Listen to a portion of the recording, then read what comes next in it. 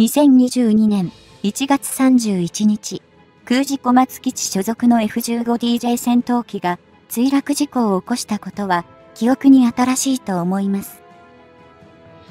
残念なことに、操縦していたパイロット2名は遺体で発見されました。フライトレコーダーを含む機体のパーツ回収も進んでいるようです。今回は、この F15DJ 戦闘機の墜落原因について見ていきたいと思います。防衛省は何が起こったのか、分析を早急に進め、同型の F15 戦闘機は任務で使用したいでしょう。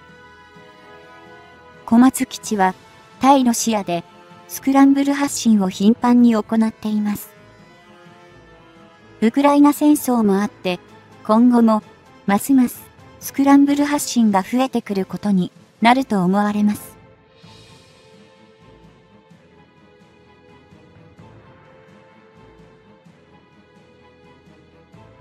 2022年2月25日航空自衛隊は1月31日に小松基地所属の F15DJ イーグルが小松基地沖合の日本海で墜落した事故の捜索で、フライトレコーダー、飛行記録装置本体を現場付近の海底で発見して回収。同時に F15 に搭載されていたエンジン2機も発見。引き上げられたと発表しました。そして、回収したフライトレコーダー記録の解析を進めるとともに、海底に残る機体の回収作業を継続するということです。墜落した F15DJ には、田中浩二一等空佐と上田達夫一等空尉の2名が登場していました。2人の遺体が発見され、14日までには収容されました。その後、民間サルベージ会社の協力で、機体の捜索と回収作業が進められていましたが、25日午後12時40分頃、フライトレコーダー本体を発見し回収しました。それまで本体に付属していた発信機は回収されましたが、本体は発見されていませんでした。本来なら一体となっているはずのフライトレコーダー本体と発信機が分離していたことについて、空自の井筒俊二航空幕僚長は、相当大きい衝撃が加えられて、分離したのだろうという説明をしています。エンジン部分は、これまでに排気口部品などが回収さましたが、今回引き上げられた2機のエンジンは、どちらも原型を止めていて、外観からもすぐエンジンとわかる状態と見られているので、墜落原因の解明に役立つと考えられます。なお、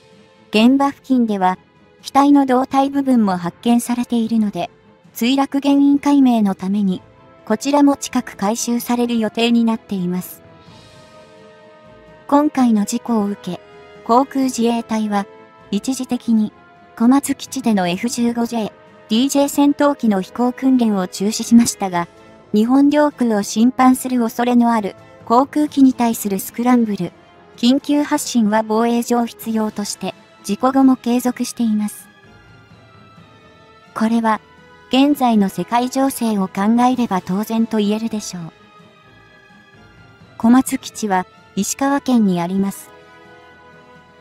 日本海に面しているという位置的にもスクランブル、緊急発進対応が主としてロシア軍機に対するものということは言うまでもありません。これは近年激増した中国軍機へのスクランブルに次いで多い回数になっています。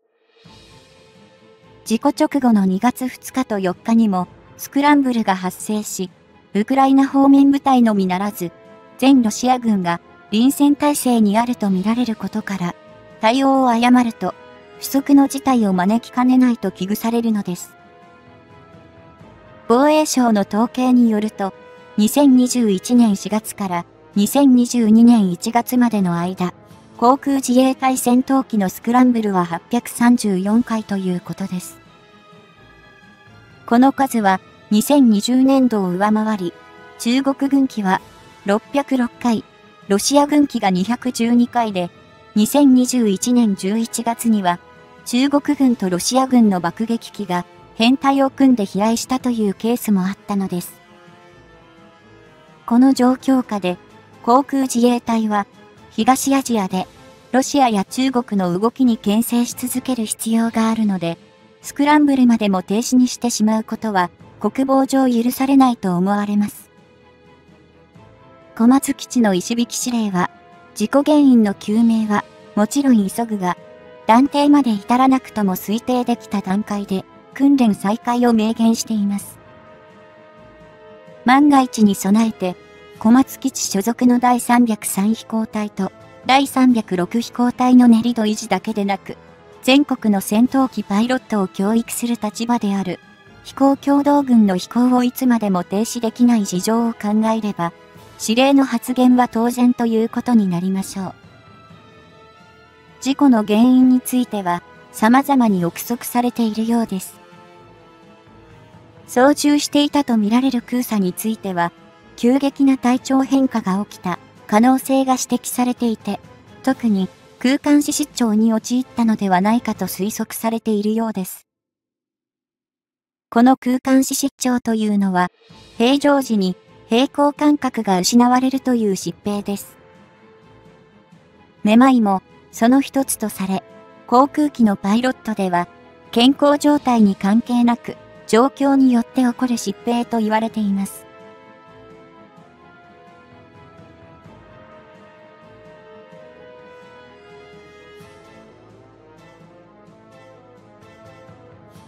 具体的には、機体の姿勢、傾きや進行方向、昇降の状態が把握できなくなる状態です。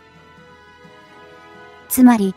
自分自身に対して、地面が上なのか元なのか、機体が上昇しているのか下降しているのかさえ、わからなくなるというはっきり言って、非常に危険な状態です。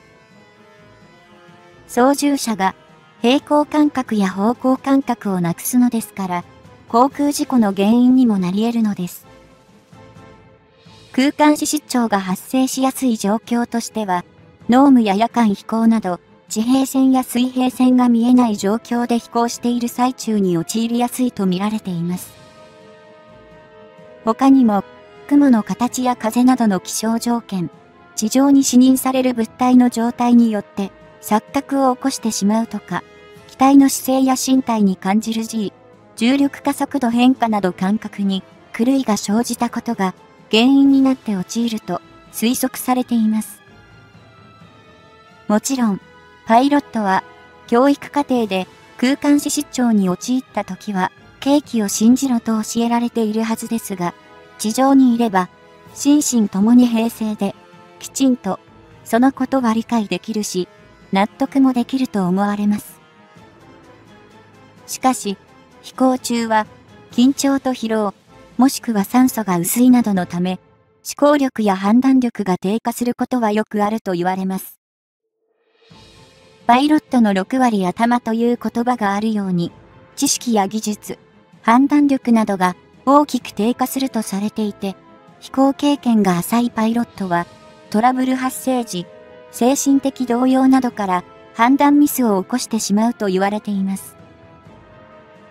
そこで、近年の第4.5世代機以降の戦闘機には、大抵の機体にオートパイロットを搭載し、パイロットが空間視失調に陥った際には、パニックボタンを押せば、自動的に姿勢回復モード、水平やや上昇姿勢になる機能を備えています。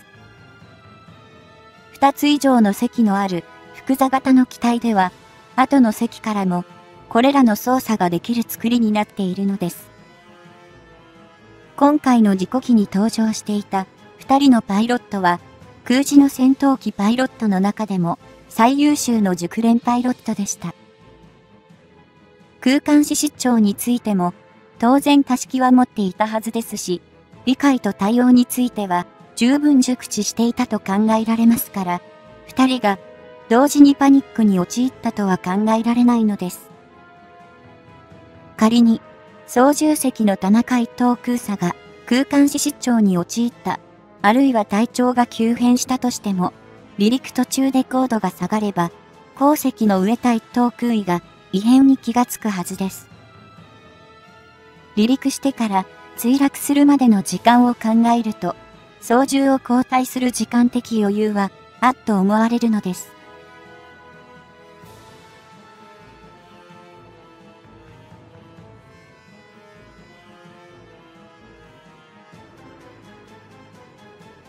当時の気象状況は、みぞれだったとのことで、雲と水平線の境目がはっきりしないため、空間死失調が起こりやすい状況だったという元パイロットの指摘もあるのですが、実は、訓練のために、事故機より、先に、3機の戦闘機が正常に離陸していますから、気象状況が原因とも考えにくいようです。さらに、この元パイロット曰く、先に離陸した両機を確認するため、レーダー操作だけに意識を集中していたのではないか、と指摘していますが、経験の浅いパイロットならいざ知らず、精鋭パイロット2人が、同時にレーダーに集中して、他のことは上の空だったという状況は想像できません。こういったことから、墜落の原因として考えられるのは、鳥が飛び込むバードストライクや、整備不良によるエンジントラブルなどですが、F15DJ 戦闘機には、エンジンが2機搭載されているので、左右2箇所のエアインテークに、同時に鳥が飛び込み、2つのエンジンが停止するという事態が起こったのでなければ、原因としては考えにくいのです。確かに、そういった本当に珍しい事態が起こらないとは言えないでしょうが、確率は非常に低いと思われます。現時点の結論としては、エンジンの整備不良が